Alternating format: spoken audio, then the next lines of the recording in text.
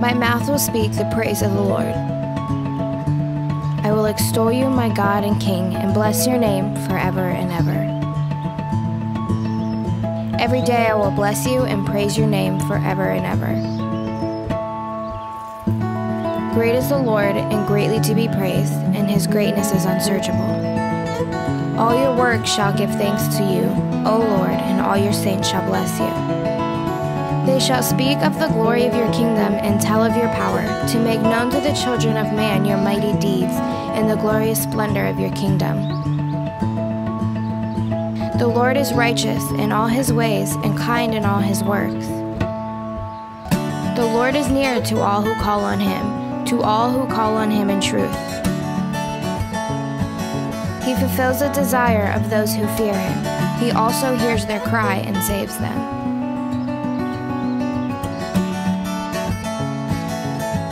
My mouth will speak the praise of the Lord.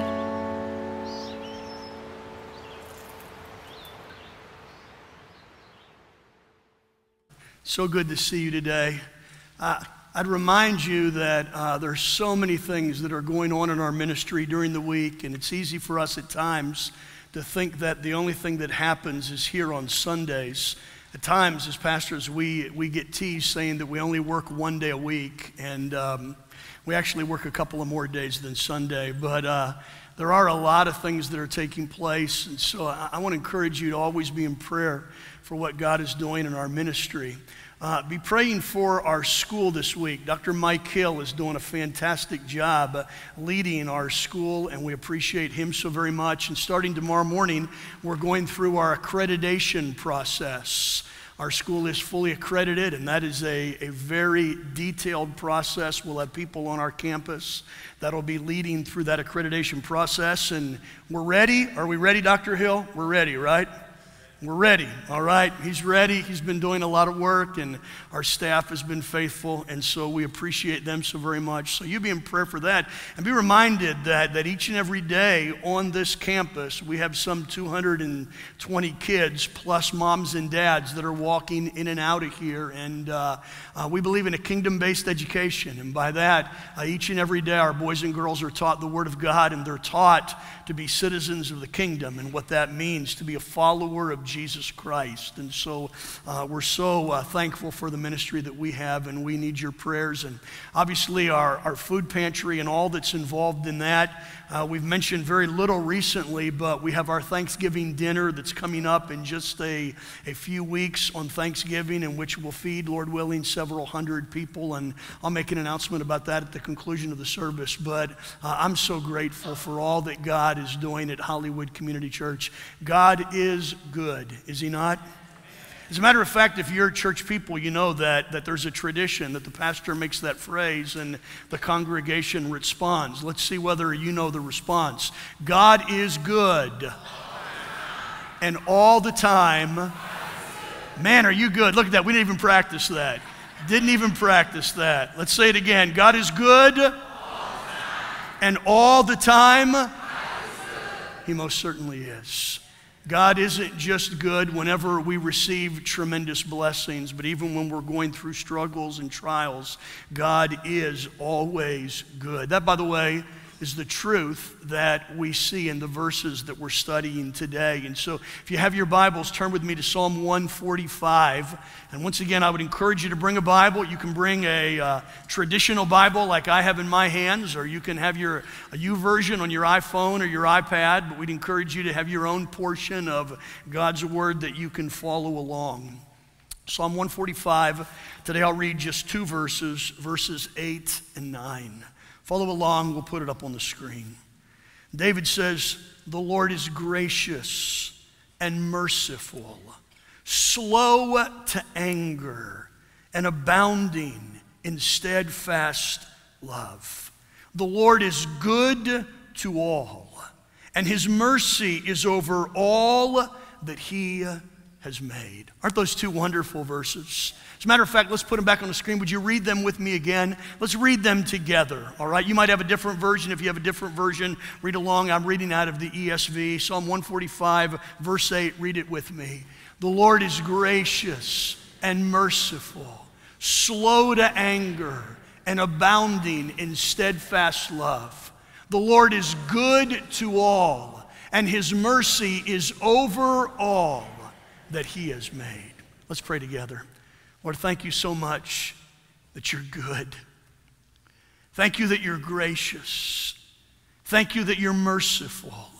Thank you that you're compassionate. Thank you that you're slow to get angry. Thank you that you abound. You, you run over with steadfast love. Thank you that you're good. Lord, not just to the people that obey you and follow you, but as David says, you're good to all.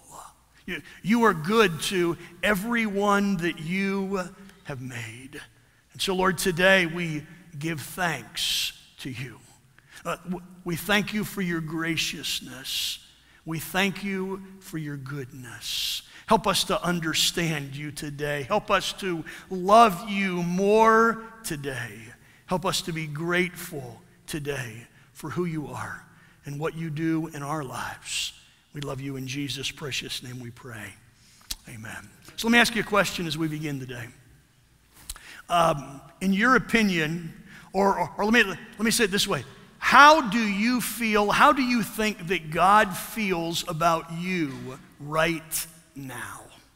In, in this very minute, uh, how do you think that God feels about you in this moment? Is God pleased with you? Is God displeased with you? Is God mad with you? Is he angry with you? Is he overjoyed with you?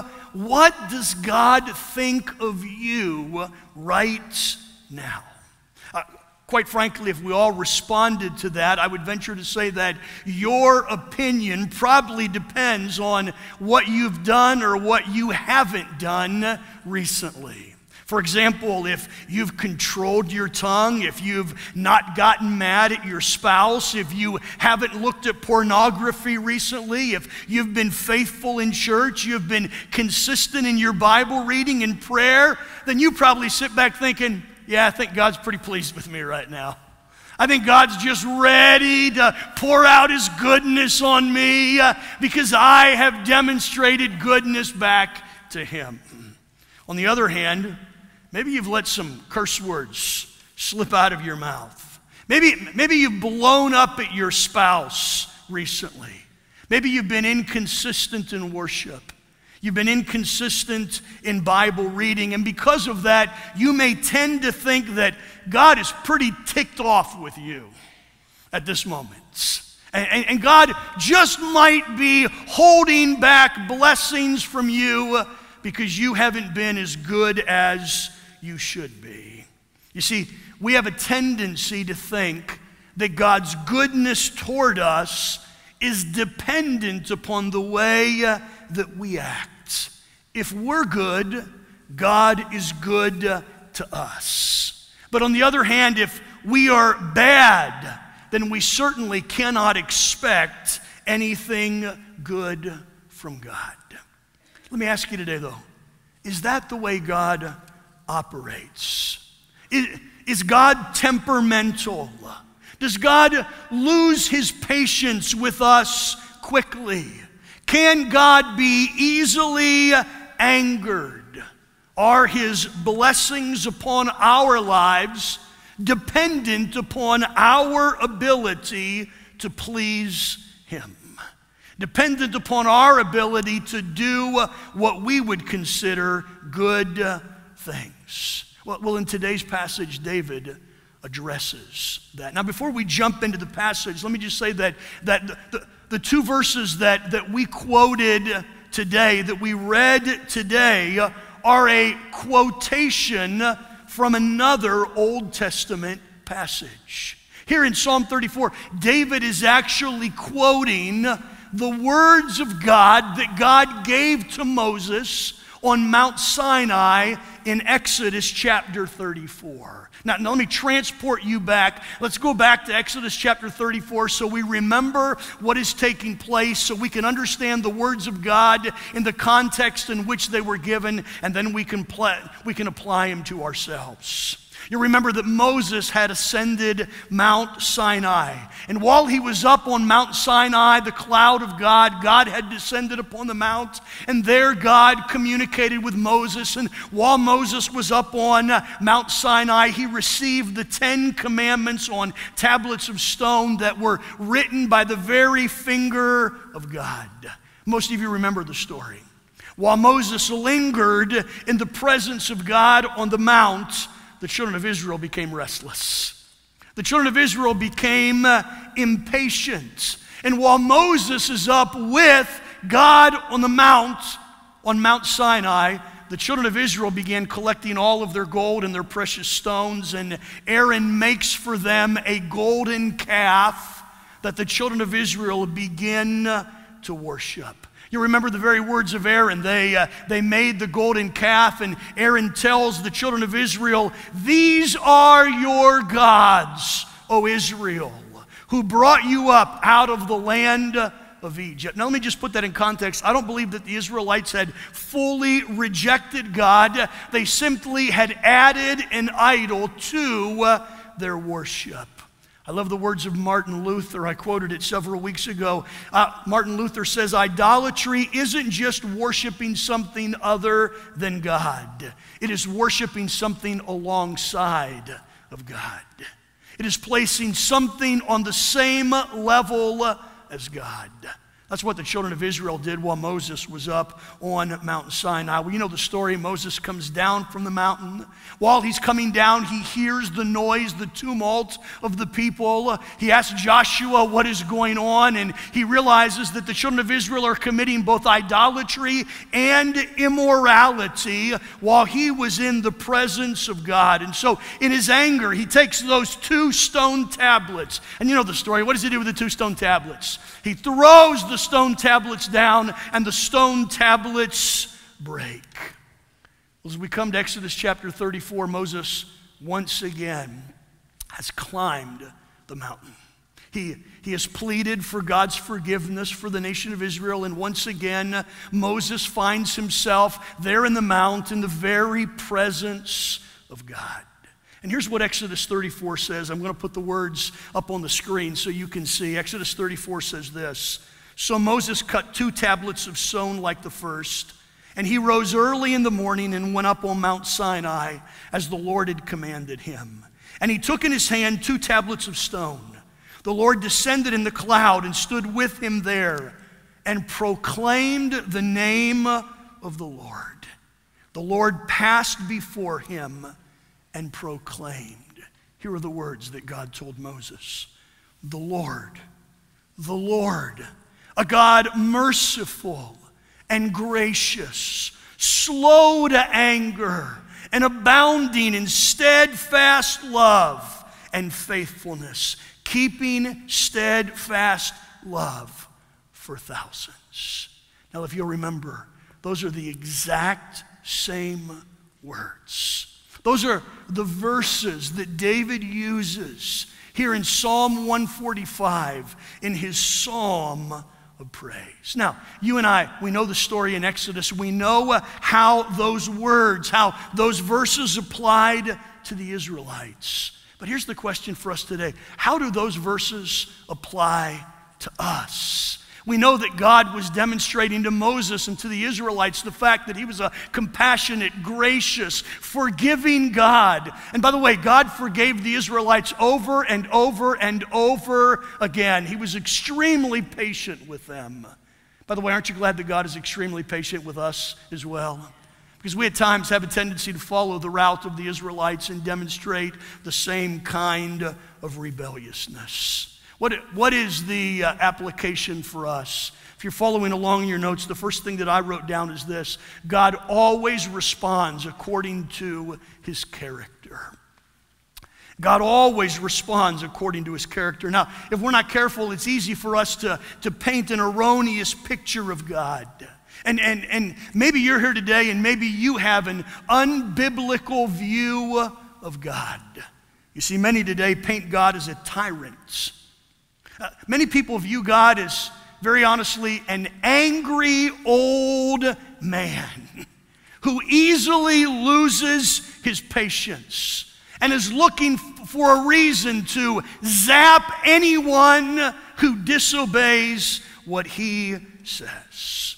Others have a kinder, uh, gentler, more tolerant view of God. They don't view him as a, as a tyrant from the last century. Many people today, unfortunately, view God on the other extreme. The pendulum switches, and now they view God as being politically correct. And many people in this day and age believe that God, for some reason, tolerates abortion, but he doesn't tolerate child abuse. He, he, he's honored for us to worship him in the sanctuary, but for some reason, he doesn't notice that even when we leave the parking lot and we take his name in vain, God is patient and none of those things seem to bother him at all. So, the question that I want us to see today is this How is God really? Uh, what is God really like? And David seems to answer that question for us today. And so, if you're following along in your notes, the next thing I wrote down is this these verses give us a beautiful description of God. These two small verses give us a beautiful description of God. As a matter of fact, John Calvin says these, these verses give us clear and satisfactory a description of God as can be found anywhere in Scripture. Now, it's interesting. These, these same verses, we already said that they're based out of Exodus chapter 34, verses 6 and 7. These same verses are found five other times throughout Scripture.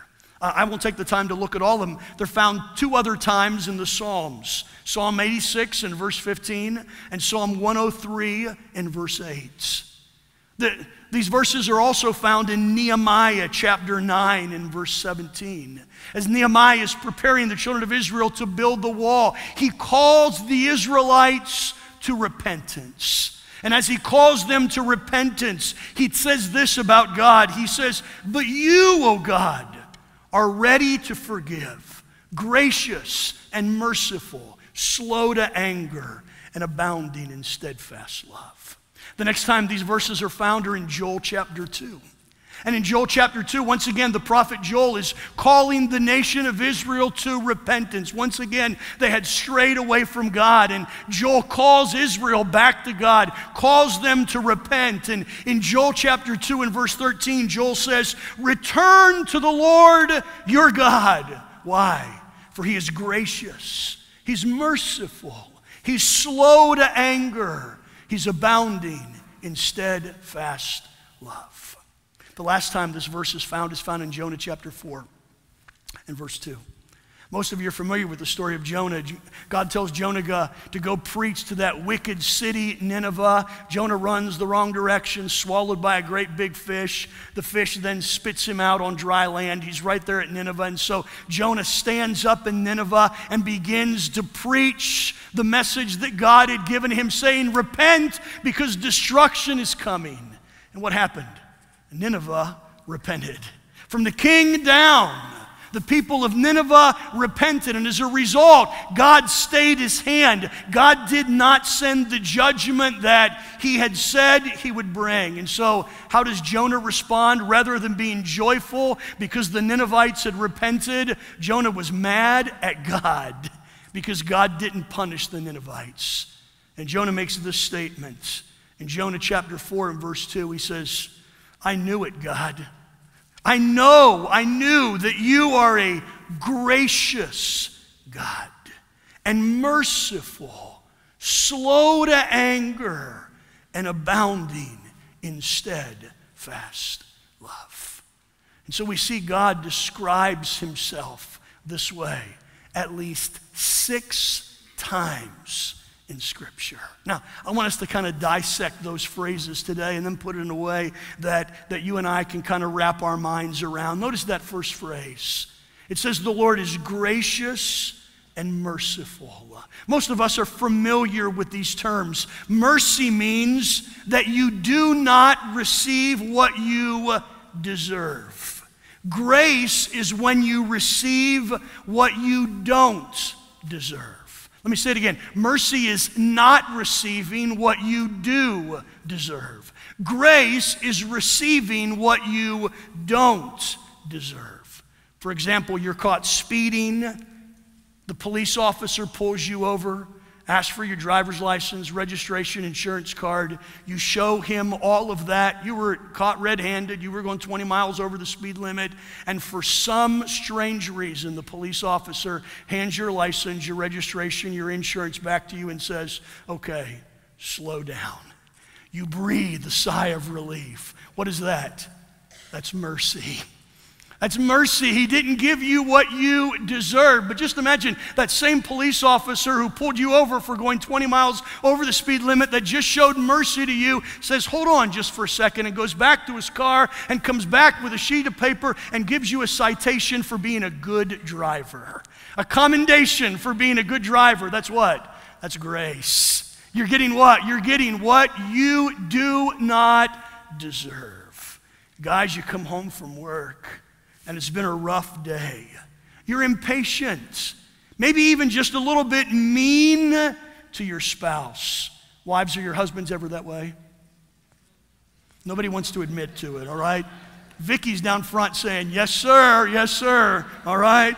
All right? You come home, you're not as kind as you should be. Maybe an unkind word slips out of your mouth, but your wife ignores your remarks, gives you a great big hug, and tells you she loves you. What is that? That's mercy. But then she goes above and beyond. She cooks your favorite meal with your favorite desserts. You're sitting on the couch that night. She gives you a back rub and she lets you watch football all night long. What is that? That's grace. That's grace. That's getting what you do not deserve. Listen, Here's what David says, church David says that God always responds with grace and mercy.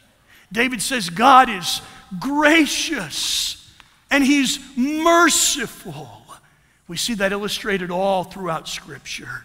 You see, in the story of Abraham and the sacrificing of his son Isaac, it was mercy that kept that knife from plunging into little Isaac's chest but it was grace that provided a ram for sacrifice. It was mercy that forgave the prodigal son who came home that had wasted his inheritance. It was grace that threw him a party when he returned. It was mercy that heard the cry of the thief on the cross.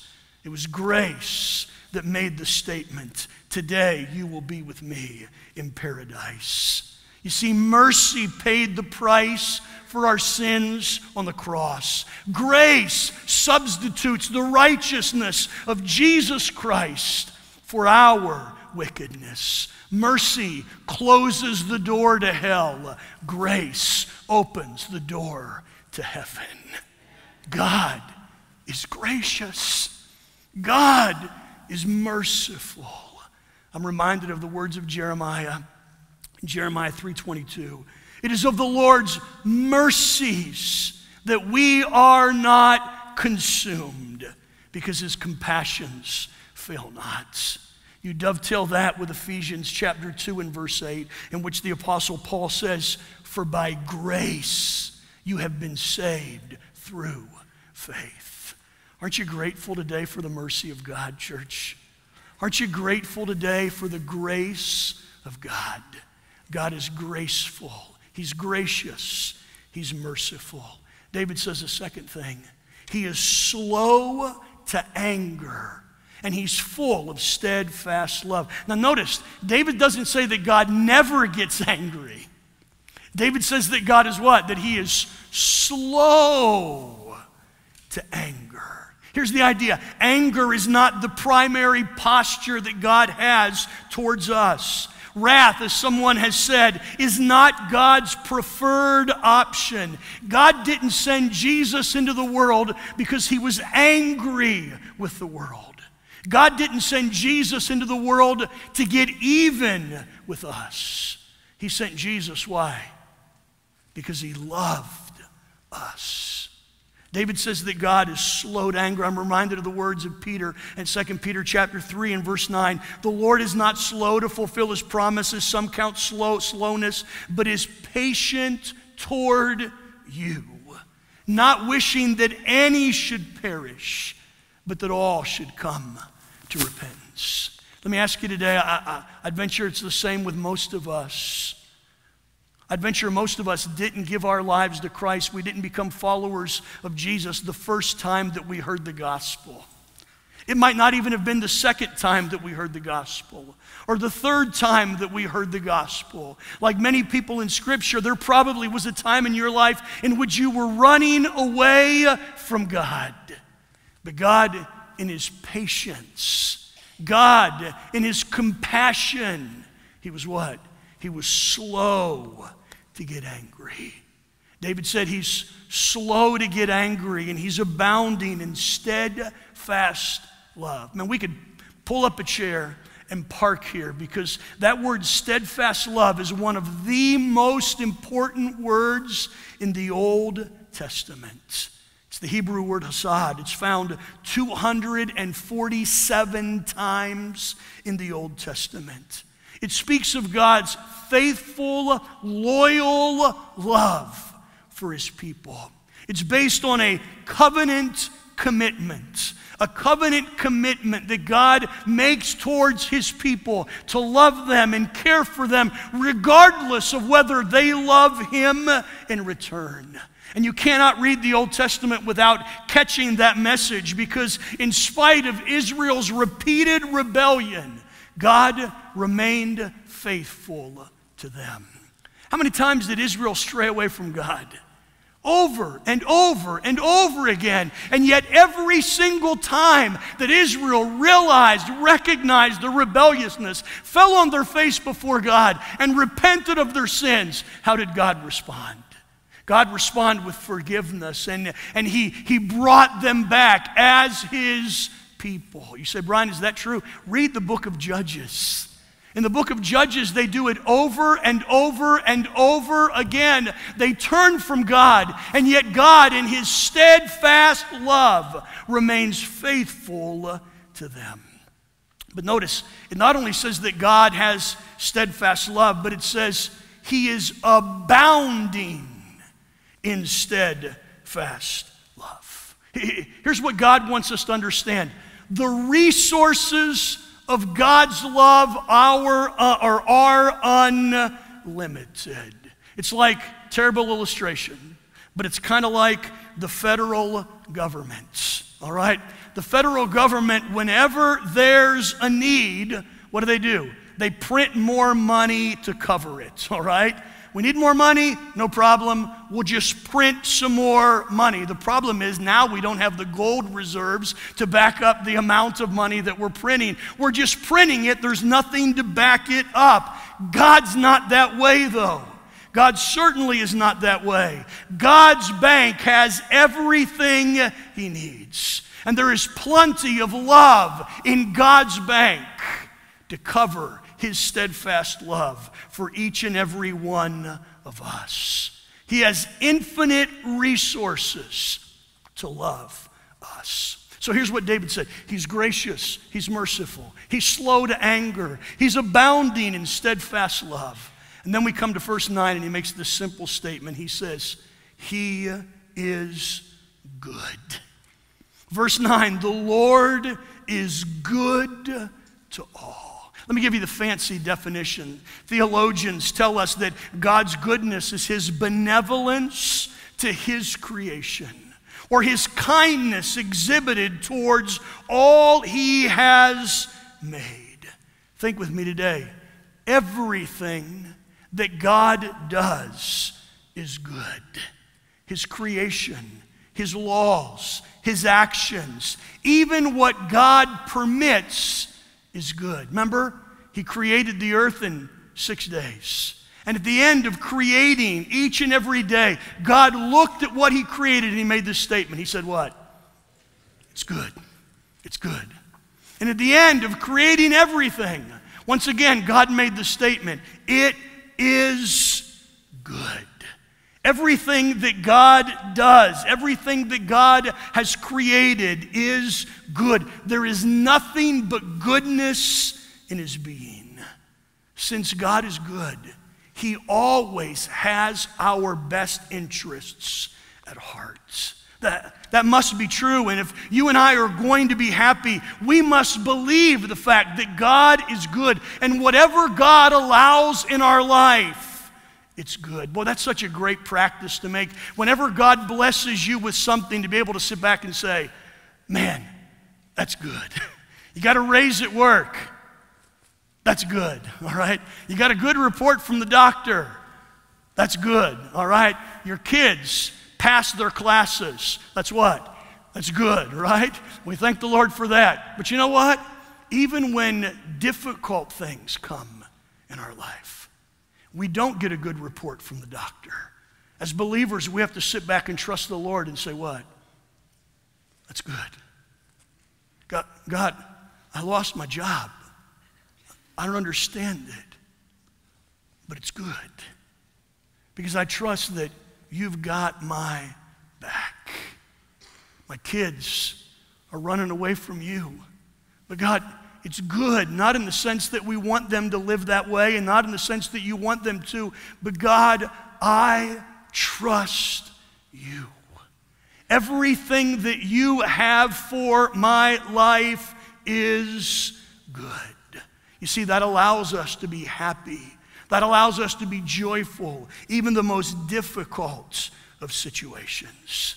Because God is good, nothing happens to us that is not for our ultimate good.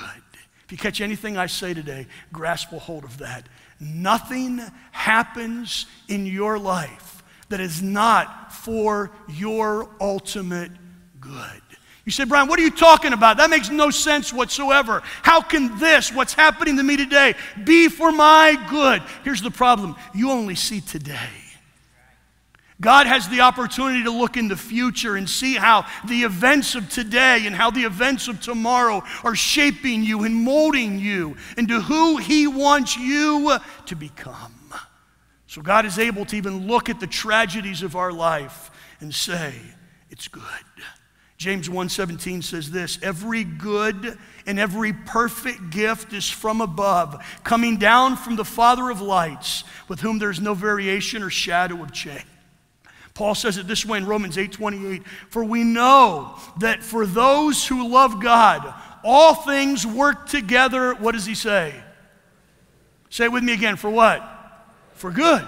But we know that, that for those who love God, all things work together for good. You see, God is, uh, as the master chef, is able to take all the ingredients of our life and mix them together and create something that truly honors and glorifies Him. It's good. God is good. and all the time.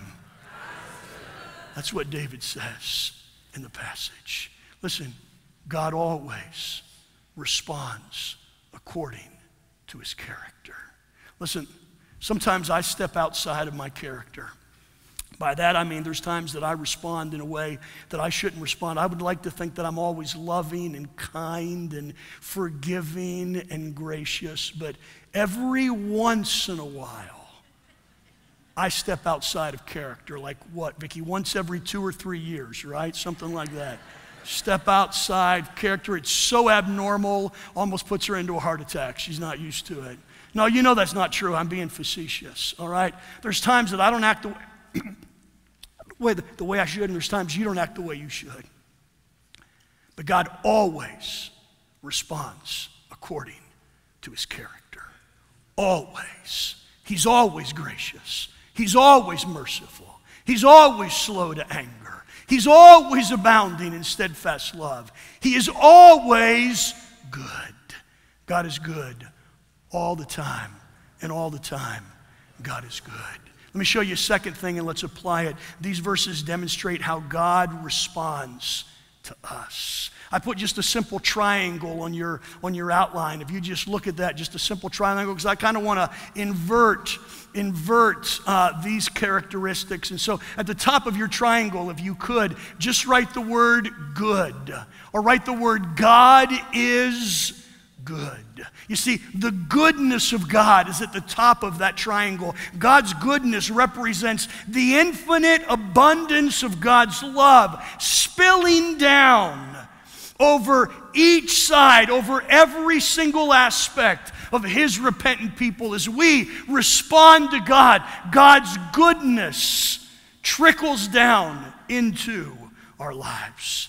In the middle of each side, uh, write the second and third statements. God is slow to anger, abounding in steadfast love. You see, when God says that He keeps steadfast love, the focus is on the durability of His love. His love lasts, His love perseveres, His love keeps flowing. And at the bottom of the triangle, right, He is gracious and He's merciful.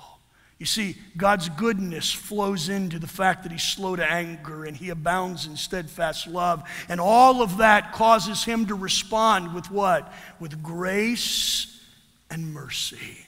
You see, if God is slow to anger, even when we give Him ample reason to be angry with us because of our sin, then God must be extremely merciful. And God must be extremely forgiving. He forgives iniquity. Thanks, Mark. You are such a great son. He forgives iniquity. He forgives iniquity and transgression and sin. You see, the reason that God is slow to anger is not because he doesn't notice our sin, but the reason that he's slow to anger is because he forgives us of our sin when we repent of our sin and we turn to Him. And so here's the very first thing that David says. David says, if you're following along in your notes, David says, God always responds according to his character. Let me show you a second thing quickly. Everyone receives God's goodness. Everyone receives God's goodness. Notice verse 9, not my words but David's words inspired. The Lord is good to, what's the word that he says next? The Lord is good to all, and his mercy is over all that he has made. Let, let me just walk through some things quickly. First of all, we need to realize today that God is good even to those who don't believe in him. Let me say that again. God is good even to those who don't believe in him, to those who reject him, to those who mock him, to those who lift their, lift their fist in the air and curse him. God is good to all. I've given you several ways in your notes, and I'm going to race through them. You say, Brian, how is God good to even those that don't believe in him? Several ways. First of all, by creating man, even though God knew that man would rebel.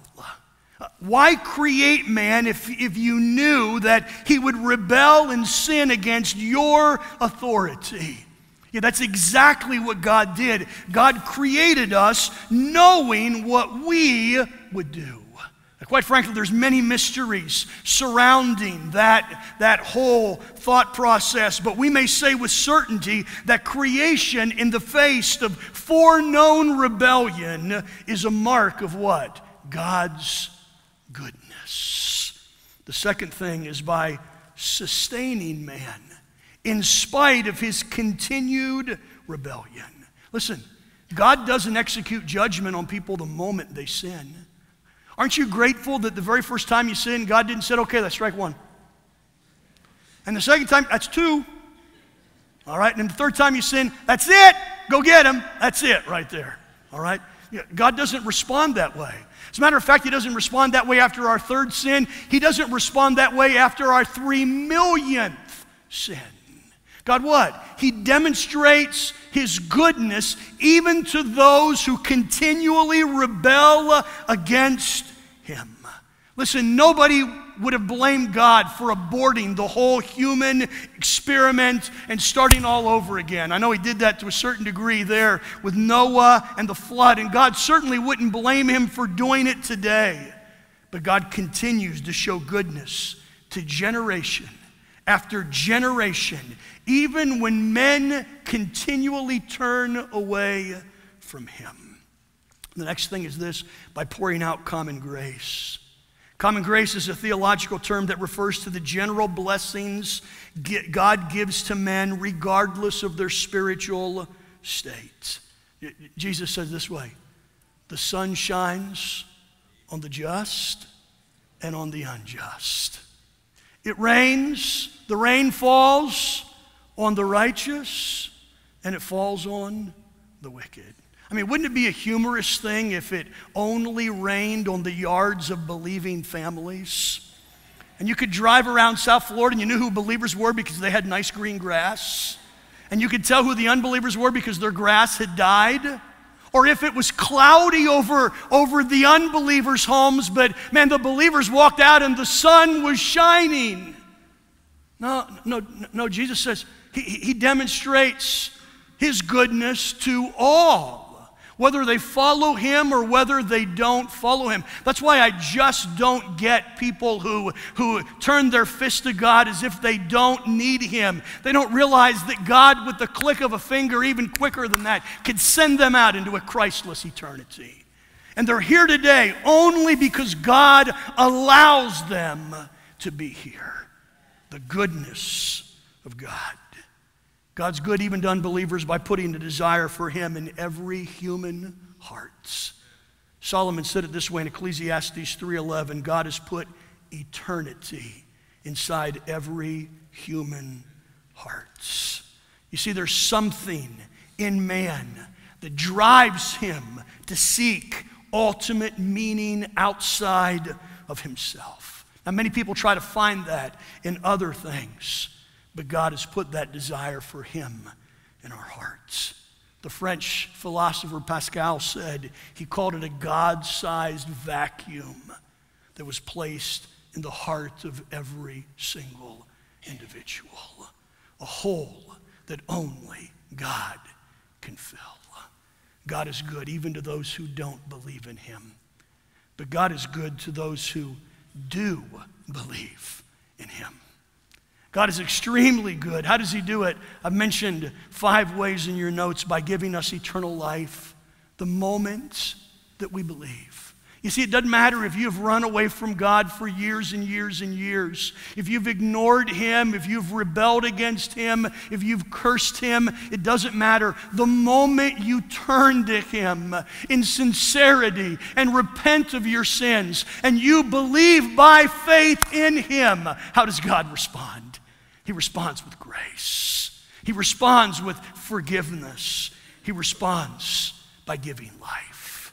You see, God blesses us by giving us immediate access to Him through prayer. And you and I, we can boldly enter into God's presence. The, the, third thing is he, He's good to us by answering our prayers, but not all of our prayers. Listen, you might not realize it or not, but, but there's a reason why God doesn't answer all of your prayers and all of my prayers, because many times what I pray for is not what is best for me. And many times what you pray for is not best for you. And God is so good that He doesn't always give us what we want, He gives us what we need the goodness of God. He's good to us by giving us everything we need to live for Him. He's given us the indwelling Holy Spirit of God. He's given us the Word of God. He's given us the body of Christ where we find encouragement and strength. And He's good to us by giving us purpose, even in the tragedies of life. You see, even in the tragedies of life, what, what makes it different for the believer is we realize that God has an ultimate purpose in that. As I quoted Romans 8:28 just a few moments ago, we realize those of us that believe, we realize that God takes everything and uses it for his good. Whatever you're going through in life, whatever tragedy that you're experiencing, realize that God, in His ultimate wisdom and His ultimate grace, is going to use that for His good in your life. And you might not understand it now, but one day when you get to heaven, it will all make sense. Even the difficulties of our life, God uses for His good. You see, we need to realize that everyone receives God's goodness. Let me say one final thing, and I'm done today. The final thing is this God's goodness is confirmed in Jesus Christ.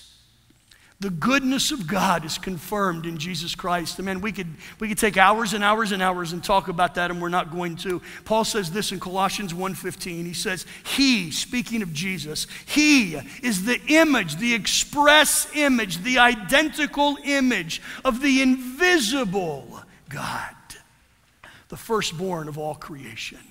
And so God, in His goodness, sent His Son who is innately perfect, innately good, to give his life for those of us who are not good. And God confirms his goodness through Jesus Christ. As the visible expression of God's goodness, Jesus came for the purpose of reuniting fallen man with the merciful, gracious, patient, loving, and good God. In the ultimate demonstration of goodness, Jesus became sin for us who knew no sin, so that we might experience the righteousness of God in him. Today, we give thanks. Why? Because God is gracious. God is good. Not because we deserve it. We certainly don't deserve it.